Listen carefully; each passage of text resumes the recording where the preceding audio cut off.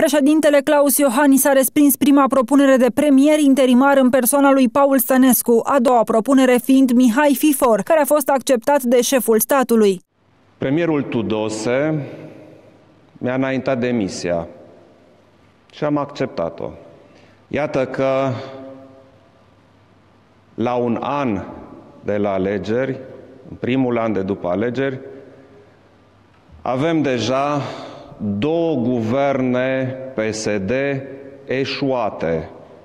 După demisia premierului Tudose, l-am desemnat pe ministrul FIFOR ca interimar la conducerea guvernului.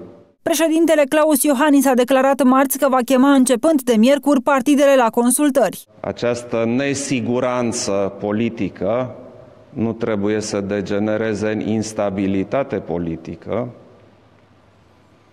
și mult mai important, vreau să previn posibile urmări economice negative ale acestei crize generată iarăși în interiorul PSD-ului.